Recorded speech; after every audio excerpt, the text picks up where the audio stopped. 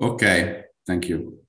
Right. So uh, thanks for the uh, for the invitation. So unfortunately, it's a bit of a, a hectic period, and uh, I'm it's it's teaching term here, so I, I couldn't join uh, uh, join in person. But uh, yeah, so fortunately, we are in the you know remote video conference here, so I can I, I, have the chance to to to give this talk remotely.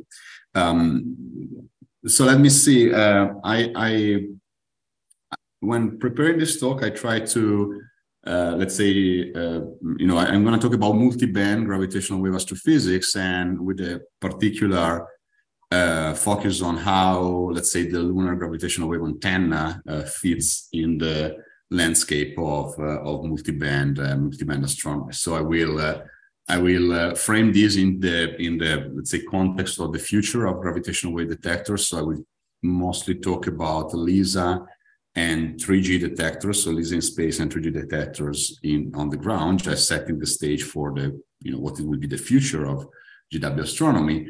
And uh, I will just then talk about how LGWA is going to feel, uh, you know, and potentially fill the uh, the year's gap between uh, 3G uh, and LISA, and uh, or and and then uh, you know talk about what are the possible multi-band synergies with the two. So we both with 3G detectors and and with LISA.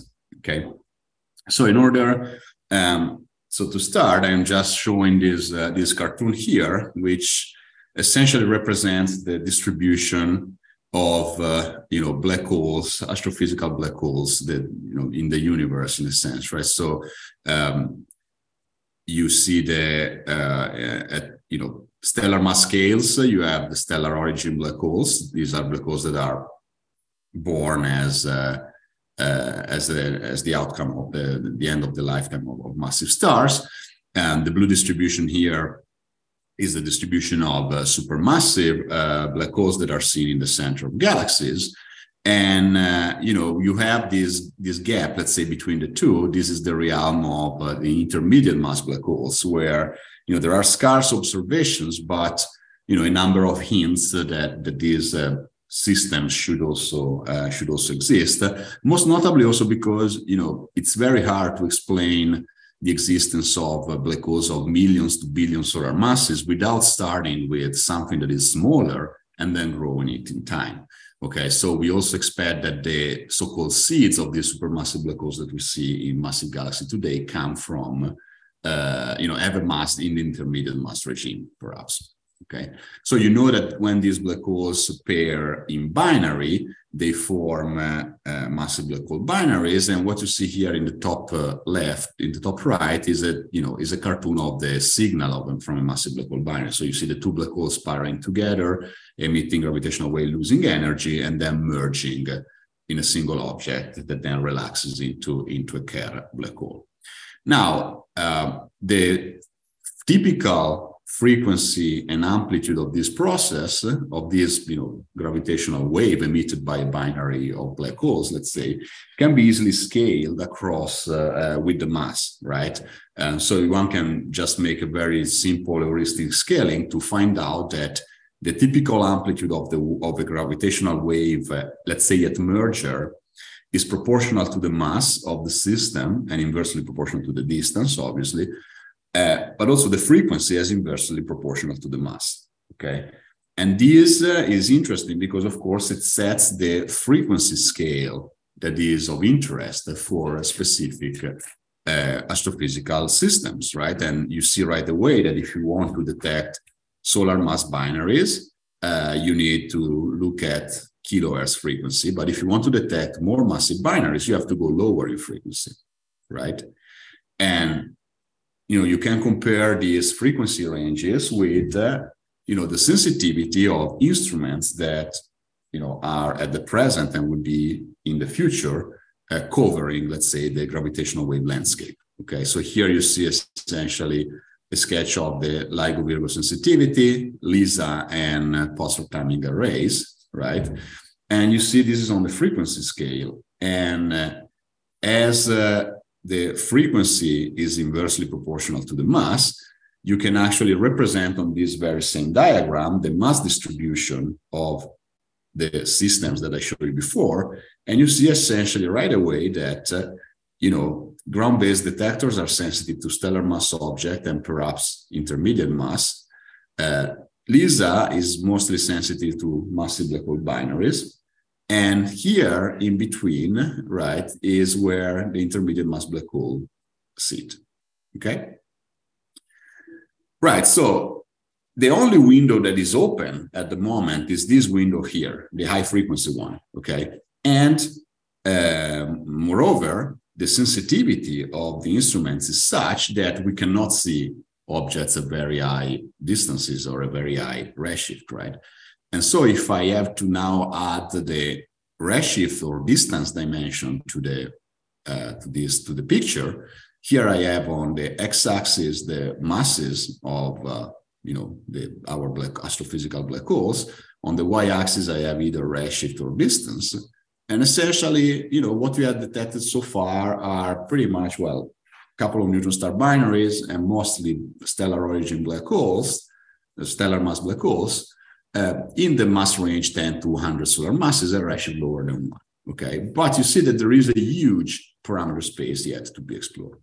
So in the future, we will have probes that actually fill this uh, parameter space, in particular, 3G detectors on the ground, like Einstein Telescope and Cosmic Explorer, and you know, I'm not going to spend much time here. It's just framing the stage, right? So, but these detectors are going to observe black hole binaries up to redshift 20, maybe, you know, tens of thousands per year, uh, or neutron star binaries up to redshift 2, 3, and perhaps, and some, you know, they will extend, uh, as you see here, they will extend the sensitivity to system in the intermediate mass regime between 1,000 and 10,000 solar masses and they will allow a lot of uh, amazing science right? We can we will have a you know complete picture of the distribution of merging black holes in the universe so we can reconstruct uh, possibly their astrophysical origin. We can learn about the physics of neutron star mergers and the physics of dense matter by looking at the actual signal at the merger of neutron star binaries. Uh, we might be able to do multi-messenger astronomy with many sources. So a lot of uh, uh, you know expectations lying in these 3G uh, detectors. On the other end, at the lower frequency, we will have LISA, the Laser Interferometer Space Antenna, which is a ESA-led mission. And you see the, uh, the, the, the, cartoon here with the constellation orbiting around the sun, trailing the Earth in this cartwheel configuration. Um, the arm length is uh, 2.5 million kilometers, and this makes it sensitive to the millihertz regime, where there is, which is expected to be the uh, window, which is the most, uh, uh the, the richest in terms of astrophysical sources. You would expect there, you know, uh, millions of binaries in our galaxy, like neutron star, uh, mostly white dwarf binaries, but also neutron star black hole binaries supermassive black hole binaries merging pretty much everywhere in the universe, extreme acceleration spirals, the early spiral of the systems that we see in the LIGO Virgo band. So stellar mass black hole coming, uh, you know, in the local universe, let's say. So this is just the one of, you know, I, if I put the LISA sensitivity on the plot that I showed you before, uh, those are the contour plotting sensitivity of the of, with which LISA will see a mass, a binary with a given mass at a given redshift. And you see that essentially LISA will see every massive black hole binary merging between, you know, few thousand to few million solar masses up to redshift 20 and beyond. So, and those gravitational wave instruments are not really directional, right? So you will see every single merger of these objects in the universe. And uh, with this, uh, you know, by detecting this object, we will have, uh, uh we will uh, try to understand what is their uh, origin. So what is the nature of their seeds and their mass. So for example, it's unknown whether these massive black hole binaries start, whether the massive black holes start already quite massive, like you know hundreds of thousands solar masses like in the blue track here each track here is the evolution of a you know massive black hole or if they start light maybe in the hundreds of solar masses right and depending on uh, you know the properties of the uh, gas and the content of h2 in the early universe um, you know, you will have, you can form a black holes of different sizes So you can form either low mass seeds or massive seeds or whatever that is in between. Okay. So this is essentially unknown and it's something that we can start try to pin down with gravitational wave observations. Those observations are also very much complementary to electromagnetic probes. So here you see again, uh, in gray is the a contour plot of the sensitivity of a LISA detector. Okay, so again, you see LISA will see everything within, you know, between 10 to the 3, 10 to the 7 solar masses. Those green and uh, orange areas are uh, essentially is the is the region where most of the massive hole binary merger are expected to be for a heavy seed uh, scenario and for a light seed scenario. And this other purple area and these blue dots are essentially quasars okay, are the highest redshift quasars that are seen in the universe. So you see that our electromagnetic view of supermassive black hole and the gravitational wave view that you get with LISA are very much complementary. There is, of course, a nice overlap area where we expect to do multi-messenger astronomy, but really LISA will be complementary to electromagnetic probes and pin down the history of uh, the, the, evolution of massive black holes in the universe. Um, so let me just uh, skip a little bit ahead in the interest of time because I want to concentrate on the multiband part.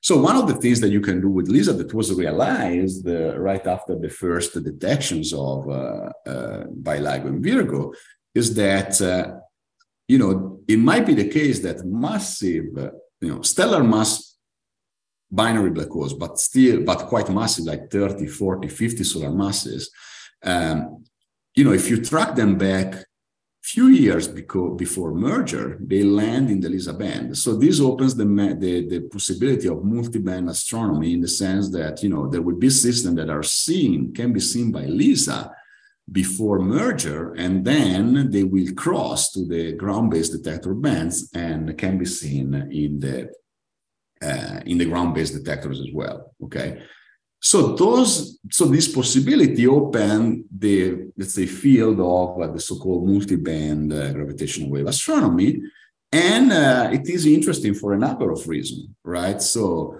um, for example, uh, well, you can send alerts to ground-based detectors, right? If you have a detection uh, from space of a signal that you know will merge within few years, then you can alert ground-based detector and they will know exactly when and where to look for a signal, which makes, uh, uh, of course, uh, you know, easier to detect the signal. Uh, uh, it prevents uh, detectors from being shut down in the case that there is a specific, you know, specifically interesting signal to look at.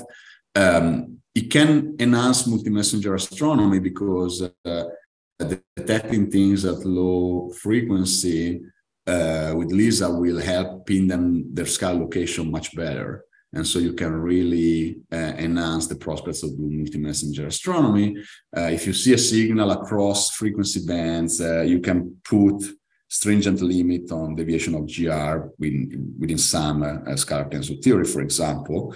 Um, but it's also interesting, and I will mostly maybe concentrate on this for astrophysics and uh, cosmology. Uh, because uh, at low frequency, um, gravitational waves have not been still, uh, let's say, efficient in circularizing the orbits of the binaries.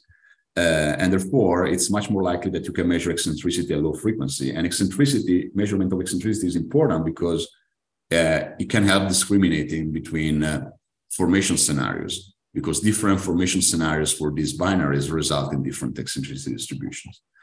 Moreover, you can use them to do uh, cosmologies, both as uh, standard sirens or uh, so-called uh, uh, dark sirens. And I will, you know, touch upon this uh, in the remind of, of my talk.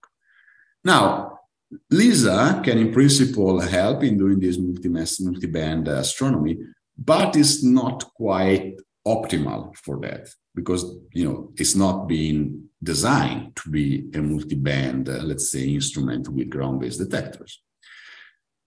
And so this is where uh, LGWA in principle is going to sit. And uh, what I'm showing here is essentially, you know, the a, a, zoom in of the plot of the, you know, gravitational wave landscape that I showed before that focuses on uh, the ground-based band here on the left, on the right, sorry, space band, space-based band, LISA on the right, and this is where LGWA is going to sit. And this is a sensitivity that I was given by Jan, so I presume it's up to date.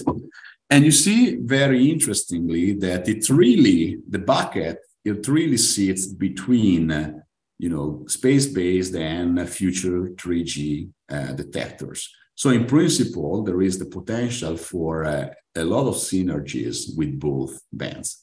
So let me uh, then uh, uh, talk a little bit about those uh, those synergies. Um, all right, so you can actually put LGWA on this mass redshift diagram. So this is the reach of, in red, you see the reach of 3G detectors. In uh, blue, there is the reach of uh, LISA. And uh, this red triangle uh, is uh, potentially, you know, the reach of uh, LG WA. You know, I, you know, I know that there are some of these uh, waterfall plots somewhere in uh, in the literature. I just, you know, I didn't have one. I just sketched more or less where the main area of interest is. Right? It's really between uh, the two, the two, and so you see there is a huge overlap with both bands. So a huge possibility of doing multi-band uh, with uh, uh, ground-based and space-based detectors. So let me have a look uh, for example, like ground-based. Okay, so here, so let's look into this uh, in this circle. So clearly, any signal that you know, either black hole binaries or like neutron star binaries that are seen from uh, the ground and that are going to be seen by 3G detector can be seen by um, uh, LGWA earlier in the spiral. And this is important because even though this is a small portion of the signal compared maybe to the, you know, to what is seen in the uh, by ground-based detectors, uh, we should consider, we must consider the fact that the the, the, the, the frequency evolution is uh, a steep function of the frequency. So the signal lives quite longer in band here. Okay. So for example, if you take a neutron star binary um, a neutron star binary is essentially one year from merger, pretty much uh, around here at uh, you know 0.1, 0.2 hertz. Okay, so this small signal that I'm showing with my cursor here, which is a neutron star binary at 200 megaparsec, this small chunk of signal here is going to last one year. So it's going to be like one year in band for LGWA. This is a neutron star binary at 200 megaparsec. For uh, black hole binaries, like one year from merger is somewhere around, uh, you know, 0.02, 0.03 hertz here. So again, LGWA, LGWA will see black hole binary mergers uh, in spiraling in band for several months. And this uh, track here is a black hole binary of 10 solar masses at a gigaparsec distance. Okay, so these I really drew by hand pretty much by eye, right? But you know, the area below the signal here is the SNR. So, you know, I sort of estimated that uh, black hole binary of 10 mega 10 solar masses at uh, a, a, gigaparsec and uh, Neutron star binary at 200 megaparsec is more or less the reach of this sensitivity curve, roughly speaking. Of course, there are, you know, it's much more complicated than that, but just for the sake of the argument. Then, for example, with LGWA, you can see this, you know, 10 solar mass binaries uh, up to gigaparsec. So the volume is about five gigaparsec. If you take a merger rate of 20 per year per gigaparsec cube, those are 100 per year. Or if you observe for 10 years, so this is a thousand of these black hole binaries. And you know, of course, if you consider more massive black hole binaries, because we know that the mass distribution extends to 50, 60 solar masses and beyond, you know, those will be seen at redshift much larger than one, so you will see more of those. But still, let's consider just only these thousand, let's say, black hole binaries. Um, you can do a lot with multi-band astronomy. For example, you can combine LGWA and 3G parameter estimation. And because the signal lives a lot in LGWA, uh, it should give a very precise estimate of the chirp mass and the sky location. Whereas in 3G, since you have a high SNR, you know, it will give you a better estimate of the distance. But then this means that, uh, uh, you know, by combining the two, you will get the precise 3D localization of those systems. And so, for example, uh, you can do cosmology very well. Let me skip here, sorry. Uh, I did the argument on the wrong way around. Okay, so let me, okay, let rewind, rewind. um, so first of all, you will see them at lower frequencies, so you can do astrophysics in a sense that you can measure much better with LGWA the eccentricity, right? And you will have measurement of eccentricity on thousands of these black hole binaries. And uh, this is a study that we did a while ago with Lisa. And well, essentially what you can take out of this is that, you know, with tens of detections, you can really pin down different uh, formation scenario, whether those are from the field or from uh, dynamical capture or whatever. So it's very interesting to have, uh, uh um, you know, to, to look at this multi-messenger, multi-band observation in order to determine the evolution of these objects, especially if you combine the eccentricity information with the spin information that is going to come from 3G detectors.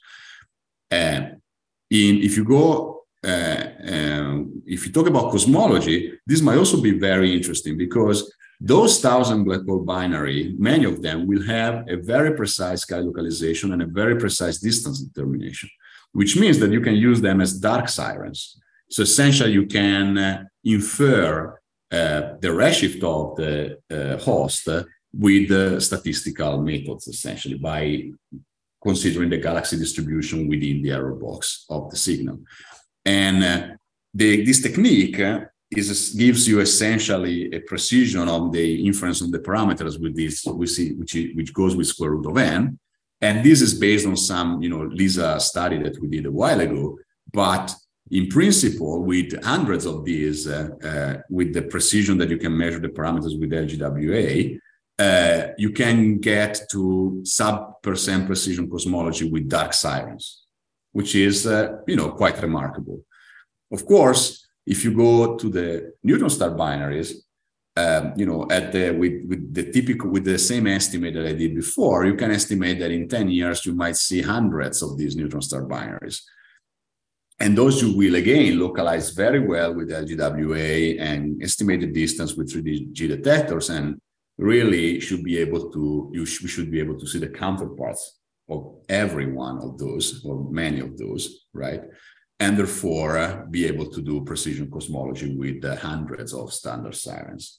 So, which is a very interesting prospect. And this is enabled mostly by multi-band astronomy with uh, between LGWA and ground-based detector. So let me spend my last few minutes on uh, the low frequency part. So the interact, the let's say synergy between LGWA and LISA. Now, LISA is a phenomenal instrument in the sense that can see black hole everywhere in the universe in the few thousand to few million solar mass range. However, as you can see here, circled here, if your seeds are light, right, uh, you're not going to see their mergers with LISA. Okay, so LISA is going to be blind to hundreds of solar mass binary mergers at high redshift. Well, this is where the synergy with uh, 3G and uh, LGWA come into play because already, you know, 3G will see merger of uh, stellar mass object at high redshift. Um, but still, you know, there is a gap between the 3G uh, region and uh, the LISA region, right? So it's going to be kind of hard to, let's say, describe the overall population to, to some extent, uh, you will have to, you know, you will observe things uh, in the under mass range with the 3G. You will observe things in maybe the 10,000 mass range with LISA. And then you will have to convince yourself, or you will have to devise some uh, statistical test uh, in order to convince that you are seeing the same distribution. So those objects here are those objects over there that have grown up and they're not two separate populations. Okay, but if you have L, uh, LGWA, then you can sample the whole population across mass and redshift. So really, you can reconstruct all the cosmic history and the evolution of these uh, massive black hole uh, binaries. Okay, uh, which is a very very interesting prospect. So you see also that uh, um, if I go back here, um, interestingly, below 10 to the 4 solar masses. Roberto, yes, five minutes. Yeah, yeah. Oh, I'm done. before the before the the 10 to the 3 10 to the 4 solar masses with lisa really you don't see the merger right the merger here the green the green uh, the green lines the merger is outside the lisa range but you see that it's inside uh, lgwa so really lgwa will see the merger and ring down of uh, all the massive black holes at 10 to the 5 10 to the 4 10 to the 3 solar masses some many of them are going to be inaccessible uh, by lisa so really, you see here the potential synergy that you have uh, with LISA and with 3G in order to reconstruct completely with multi-band observation the uh, massive black hole binary cosmic history. And uh, I think I will stop here. So um, essentially, LGWA will facilitate some exquisite multiband science by observing several thousands black hole binaries uh, and uh, hundreds of neutron star binaries jointly with uh, 3G detectors.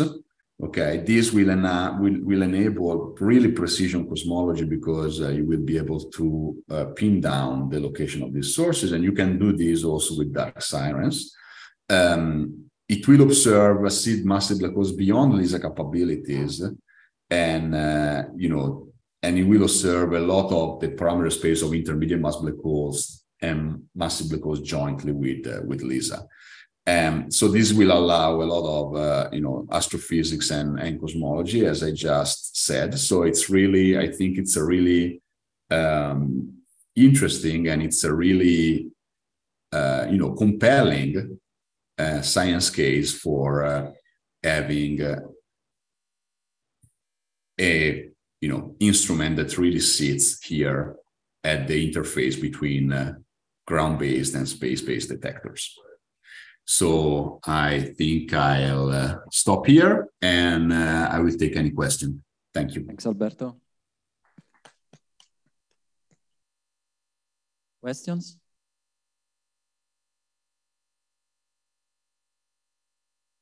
Uh, yeah, on top there. Hello, can you hear me? Yes. Hi, uh, thank you for this wonderful talk. Um, so my question is related to the these tracks of stellar mass black hole mergers, which, which start around um, frequencies greater than uh, 10 to the minus 2. Mm-hmm. So my question is, why don't you see the earlier part of this in the LISA? Why do they start suddenly at uh, 10 to the minus 2 hertz? Or, uh, um, no, man, I mean, you, you do, it's a matter of uh, signal to noise. So in fact, if you actually, I don't know if it's visible, if you if you look at this this population, you see different uh, things. So you see those very long uh, tracks, okay, and those are systems that you start to see in the band and cross to the LIGO band. But you also see all these uh, small ticks and dots, the blue ones here. Okay, so these blue ones are essentially still uh, black hole binaries that you see in the LISA band, and they are far enough from merger that will not cross significant, will not you know move significantly in frequency, and so will not be multi-band source because will not cross to the uh, multi to the to the uh, ground-based detector. Uh, the problem is that at you the lower you go in frequency, the lower is uh, uh, the SNR of these sources. So you, you really see them with SNR higher than eight, uh, only above, let's say, three millihertz. And, you know, with current estimates, we expect to see maybe tens of them with LISA, not that many. All these other um, pale cyan uh, dots and lines that you see here are also stellar mass black hole binaries, but they have individual SNR lower than eight. So those will not be resolvable in LISA, and they will constitute an unresolved uh, uh, foreground that in principle is going to be detectable. Thank so you. I hope that answered the questions. Yeah, it does. Thanks. Yeah, another question there.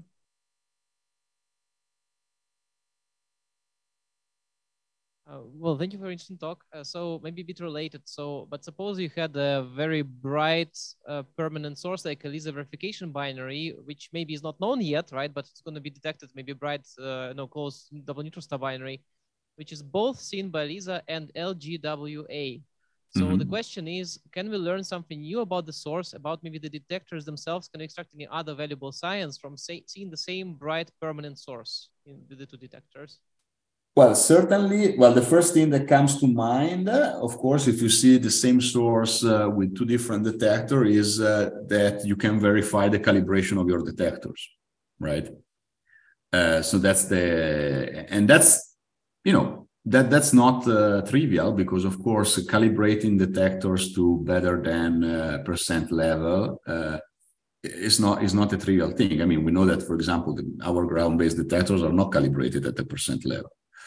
And uh, so, in principle, if you see a persistent uh, uh, source in both bands, the first thing that the, the first thing that you can do is uh, uh, verify that you understand your your detectors, and they you know they give you consistent uh, consistent measurements. Um, then, of course, I mean. One has to think a little bit about it. Of course, you, you have a signal that uh, it's coming from, you, you have a signal that in two different detectors. The two different detectors have different pattern functions. Um, they will have different SNR. So, of course, uh, you will get a better sky localization, a better distance determination. So, in general, you will do a better estimate of the parameters. Um, but still, in that case, uh, you know, you're seeing a same persistent signal with two detectors, with two gravitational wave detectors. So besides uh, calibrating them and besides uh, improving on the estimate of the parameters, I don't see, you know, on top of my head any specific, uh, you know, new science that you can do uh, compared to seeing it with one. Just a very quick follow up. So, I mean, um, can one exploit this parallax? I mean, the moon is here, this is there, so it's very big baseline to get very accurate distances.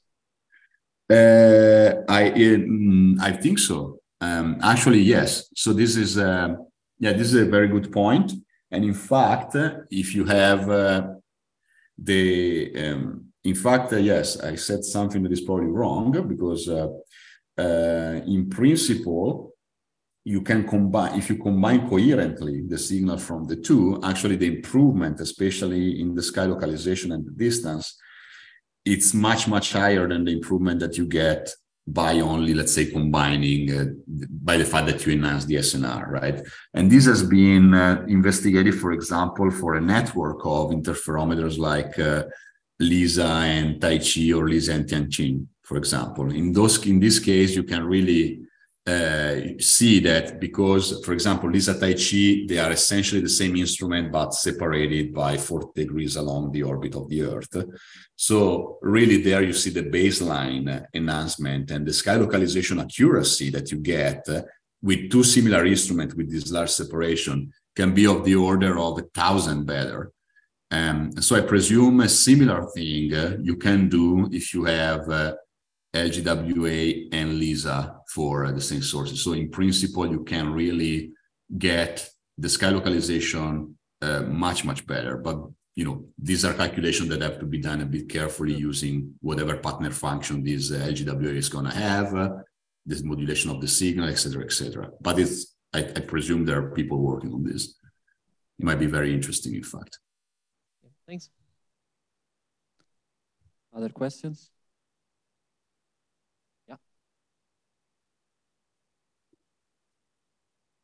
Uh, nice talk, uh, Alberto. I have a question regarding EMRIs. So EMRIs are uh, quite interesting sources for LISA, right? Yeah. Uh, is there any scope of observing EMRIs with LGWA? Uh, yes. So ma mass ratios? I didn't actually touch on this, but um, now let me see if we can use this plot. Um, but let's say maybe more than EMRIs, uh, I would talk about uh, let's say IMRIs, right? Because what you see here, this uh, this golden thing here. So this is an EMRI at because okay, the frequency of the EMRI is set by the mass of the central object. Okay, and here is a typical EMRI for a 300,000 solar mass central black hole. And this frequency here scales with the inverse of the mass. So if instead of 300,000 you have uh, 30,000, you have an order of magnitude higher frequency. So you see you are in the LGWA regime. Instead of having 30,000, you have 3,000, you really are exactly spot on at this frequency.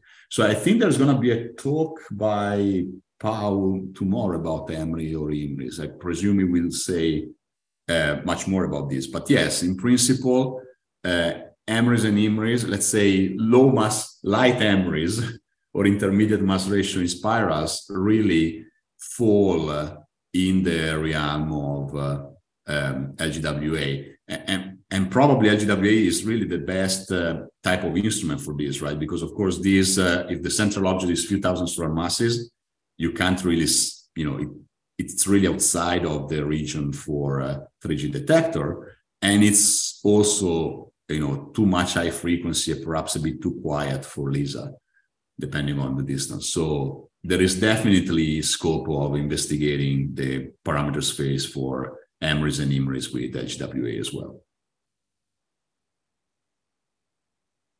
Other questions? Uh, I have one, Alberto. I missed probably one of the, when you were talking about multi-band between LGWA and uh, EG detector about eccentricities, which range of masses and uh, which range of eccentricity would we expect in the multi-band analysis that you did, you performed? Okay, so in the in this uh, study that so this was a study that we did uh, a while ago when uh, you know the first detections were uh, were performed. So in this study, we took a, a, standard. The mass function was the whatever mass function was available at the time. So, but let's say consistent with uh, the the LIGO measurements. And here uh, we just took. So this was a very idealized study where we took eccentricity distributions from for three different uh, um, models, uh, formation models, formation scenarios. So we took um, uh, a field formation scenario, a cluster formation scenario, and a, let's say, Kozai Lidov uh, von Zeipel, if you want, formation scenario. So in the first scenario, you know, you have field stars that do what they have to do and they form binaries. Second scenario, you have mostly captures and exchanges in stellar cluster. The third scenarios, you have uh, a massive black hole and uh, a binary that is uh, driven eccentric by Lidov-Kozai oscillations. So we took from this model, so we had, there were papers by Antonini, by other people that predicted the distribution of eccentricities at formation of these different scenarios. So those distributions were different. And then we evolved this distribution of eccentricity, um, you know, forward from formation to merger. And that's the distribution of eccentricity that we talked uh, uh, we talked we, we used in this uh, in this study. To be uh, to give you an idea of what you can measure um, lisa can measure eccentricities reliably down to uh, less than a part in a thousand. So it can measure eccentricity down to 0.001 and maybe slightly below um, so it might be that uh, it might be that a detector that sits uh, in between, so at slightly higher frequency, it might be that it cannot measure the eccentricity down to that precision, down to that minimum value, maybe, you know, a few part in a thousand, maybe. Uh, but still, you know, much, much better than uh, the minimum eccentricity that you can measure in ground-based detectors. So, so the, the key point, I think that is the lower you go in frequency, uh, the smaller is the minimum eccentricity that you can measure. That's the that's the key point. And so and and sources are expected to be more eccentric. So you are really much more sensitive to eccentricity when you go yeah, to lower I guess the 10 to my one part on 10 to 4 5 it was for EMRI, right? I mean, like for which we expect eccentricity, which are very large. No, no, no. I mean, no, no. Also for binaries. I mean, what, what I mean is that if you have a binary that has eccentricity 0.0001, then uh, your measurement is going to be zero plus an error. Okay, you cannot really measure the eccentricity of 0.0001 with LISA. But if your eccentricity is 0.001, then you can measure it. You can tell that it's not zero, but it's 0.001. Okay, thanks. Okay, I hope that was clear. okay, I don't see other questions. So thanks a lot, Alberto, for being with us. Thank you for the for the invitation. Thanks again, and uh, you know, wish you. Uh, now I have to go with other because of other commitments, but I, you know, have a nice uh, rest of the workshop.